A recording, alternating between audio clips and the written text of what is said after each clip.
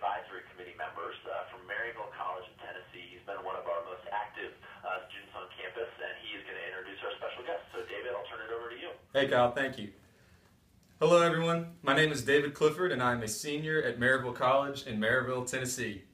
We're a small college outside of Knoxville, but we found that the It's On Us pledge was something we could all rally behind to take ownership as a community to stop something that could happen to anyone.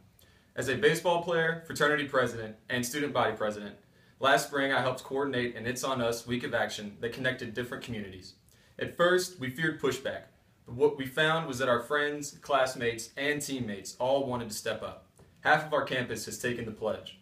This is not to say it is always easy, but it was worth it. It's an issue that needs continuous attention, and so we keep going this year, just as all of you are doing on campuses large and small. And today, we're lucky enough to have someone who has, throughout his distinguished career of service, taken responsibility to stand up and speak for what he believes in, and who always keeps going forward.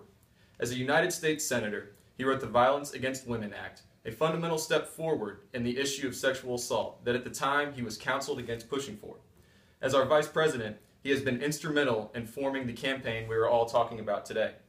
He has consistently shined a light on this issue for one simple reason it is the right thing to do. I am humbled and honored to introduce the Vice President of the United States of America, Joe Biden. Well, thanks an awful lot, David. I appreciate it, and thanks for